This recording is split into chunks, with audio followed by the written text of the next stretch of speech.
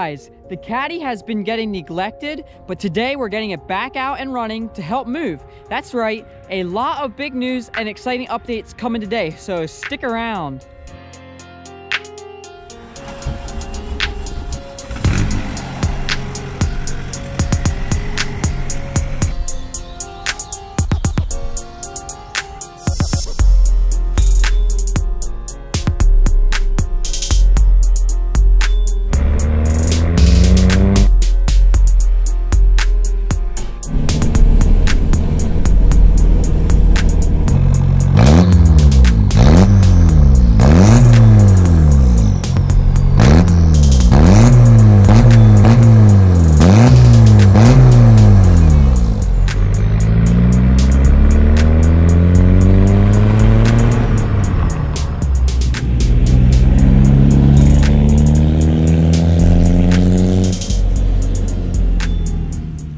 Guys. So had a lot of fun this morning with the caddy. It was a pain, could not get it started because of fuel leak. So much air in there. I ended up blowing air in the tank, pushing the fuel through, cracking the injectors loose. Terrible. We got started, then it started puking fuel. So replaced one of the return lines, just the hoses that go between the injectors. So that was sweet. Then took it out and ended up blowing a radiator hose. So did not get to use um, the caddy to move the toolbox there, but hey, at least had some fun, got some cool video for you guys.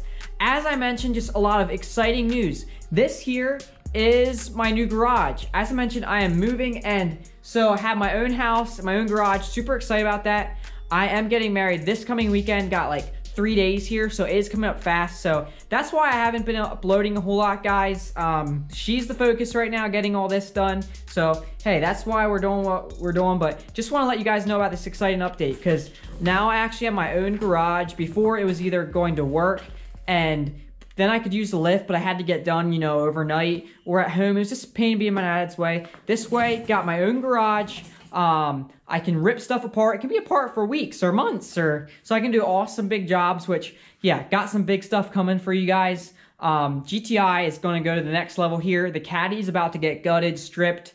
Um, we, are going to repaint it. We're going to do everything. Cannot wait to talk to you guys more about that. So keep in store. Thanks so much for watching. Thanks for the support. Sorry I have been kind of absent, but hey, better times are coming. Just my reminder to you guys, cars are awesome. Things are awesome. It's fun working, building things, and just you know, it gives you that sense of satisfaction, just learning new skills and seeing what you can do. But people is what life's about. So don't ever forget that. You need people, you need relationships, or else everything becomes meaningless. And people are the only thing that aren't going to burn with this world. So thanks for watching, guys. Have a good one.